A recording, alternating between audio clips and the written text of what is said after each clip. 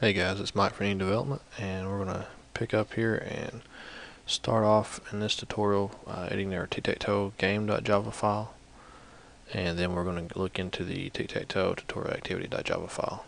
And if we happen to get both of those done in this video we'll try to go ahead and finish out the, uh, the main menu screen .java so let's go ahead and get started. Um, open up your source Let's go into tic-tac-toe game. There's not a lot we need to change in here, just a few things. So once you get that open, we will actually go and the top here, we'll look at the way that the uh, static final characters right here. We have a human player and an Android player currently, but we're going to actually change that to player 1 and player 2. So just highlight over that. Player 1 and then player 2.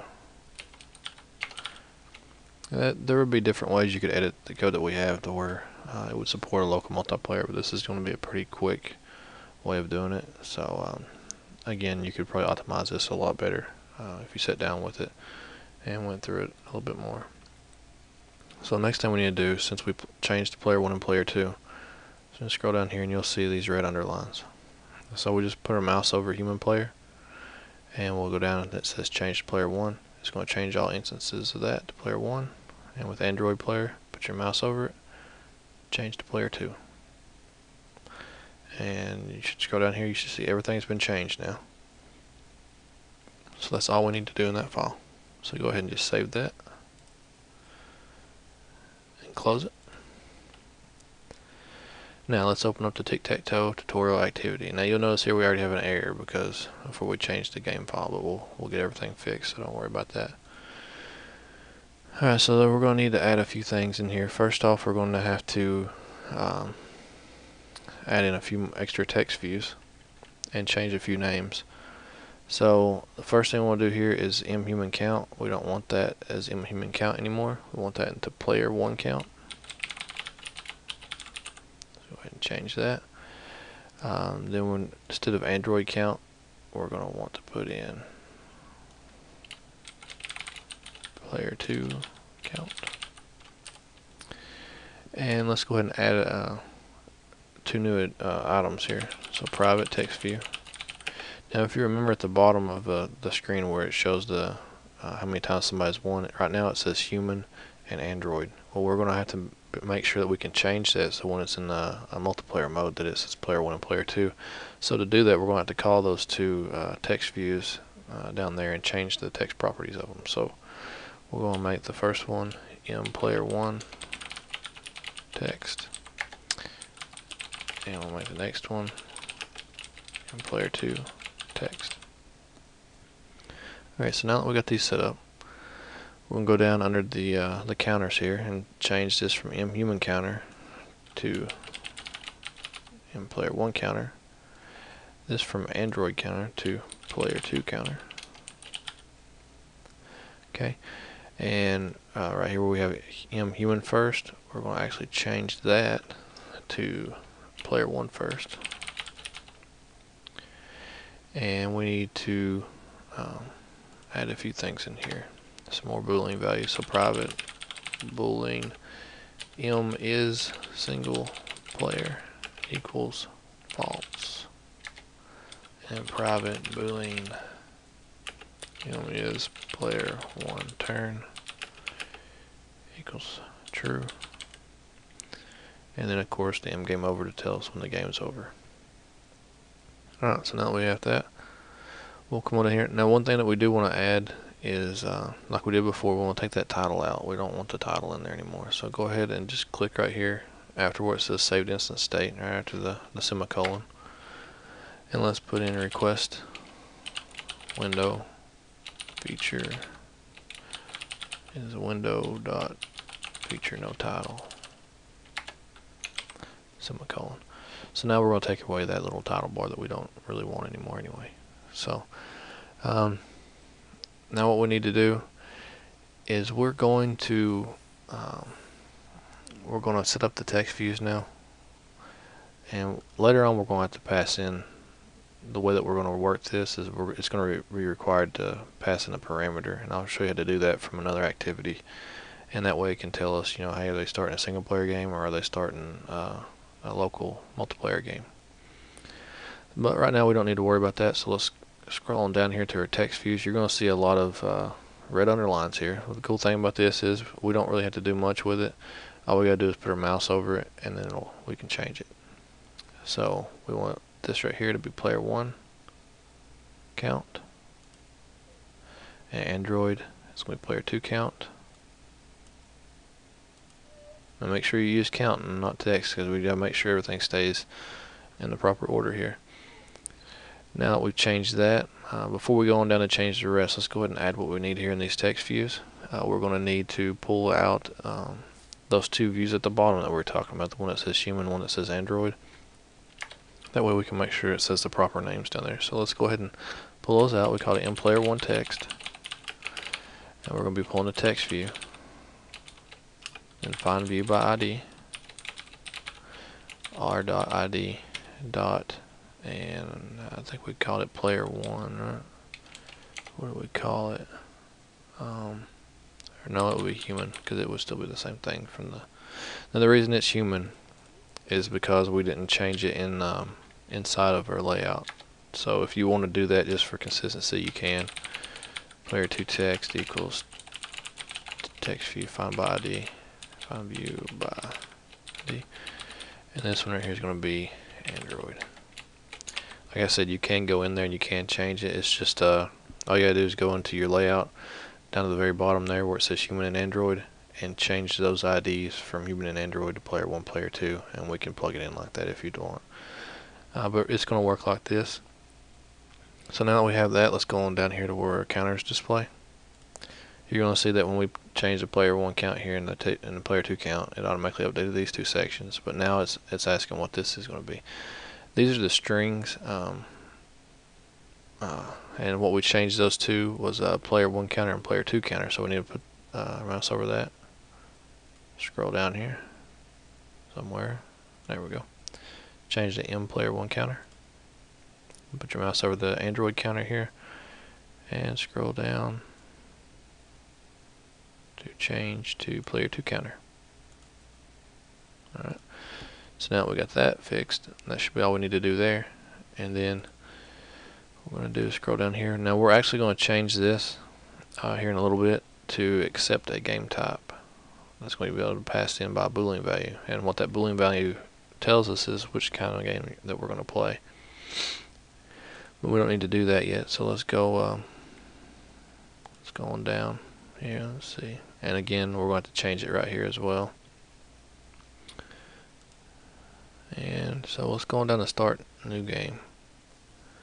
Now when we're inside here you'll see that um, right now we don't have any parameters passed in which is why these up here work because you see they don't require any parameters. But we're going to change this.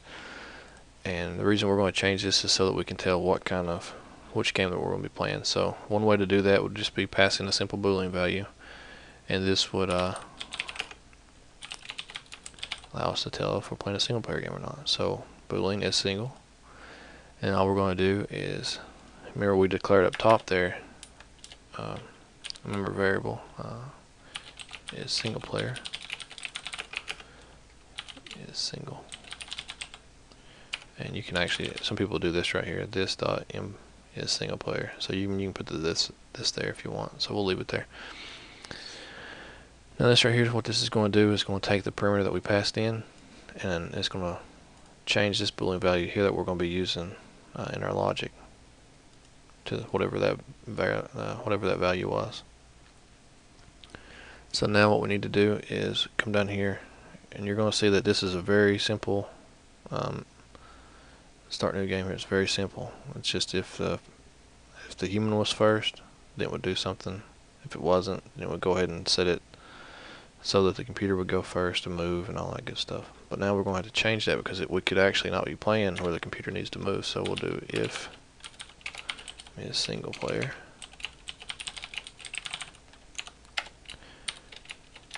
Let's go ahead and close that off.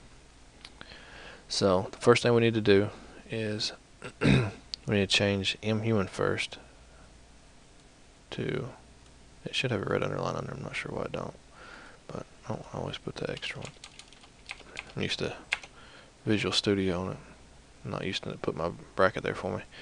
So if you put your mouse over mhuman first, uh, we're going to change that uh, to M player first, which we put up top there. So let's go ahead and cut this code, Control X, and let's go inside this and Control V to paste it. V is in Victor.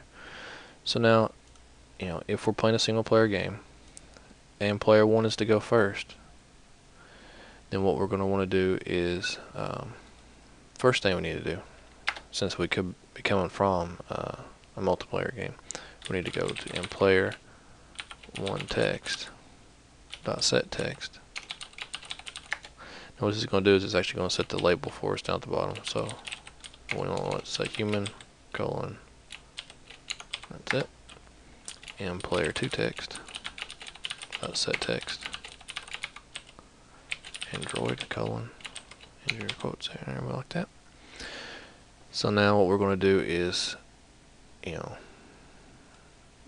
and this should actually be before the sorry about that. So just cut that out. We don't want to it's not dependent on the players first if we set that or not so, and that's a good thing to do about your code if you, when you're putting it in, you read it back to yourself. So, if we're playing a single player game, we need to set the text of the text views at the bottom to human and Android since you'll be playing the computer. Then, if the player is supposed to go first, we're going to go ahead and set that text view uh, down there to say, you know, the little notification text box we have right under the board. We're going to set that just like before uh, first human saying, okay, human's got to go first. And I think that actually comes out to you first. And then um, if it's not the player's turn to go first, the computer's going to go first, which just probably you won't even get to see because it's going to be so quick. And then you're going to get a computer move, then set the move the computer made. But we need to change Android player here to player 2. And this right here is one of the reasons why when we change this tic-tac-toe uh, activity, this tic-tac-toe game right here, from player from human and Android to player one, player two. The reason you saw this red X pop up here is because Android player doesn't exist anymore. So we need to go ahead and change that here to player two. And there'll be some other places that we need to change, but now that any place that said Android player should say player two since we went ahead and changed that. So that's about all we have to do for to change over the logic for the single player part. But now we need to see, well, what if it's a multiplayer? So we go to else. Now all this code here is going to deal with if we're in a local multiplayer. So what do we need to do if we're in um, multiplayer? It's not going to be a whole lot different than this, so we can just copy and paste. It's really going to be very similar. The thing is we don't need the human or the computer to move. The first thing that we're going to do is change this from human to player 1 and then change Android to player 2. So if the player 1 is supposed to go first, then we want to want to change this string because we don't want it to say you first because they won't know which person's supposed to go. So string dot, and I think we taught turn player 1, yep, turn player 1. And of course we'll set that the player 1 should not go first next time. And then we'll go into else here, we don't need this code because that was what the making the computer move. We don't need that. So then we'll need to change this one to turn player 2. And I'll just go ahead and show you that it's in our list here. Dot turn underscore player 2. Okay, and then we'll need to make sure that player 1 will go first next time, so set that to true. Alright, so that's all we have to do to update our start new game method. And now let's see if we got time here. How are we doing on time? Uh, we're about 15 minutes.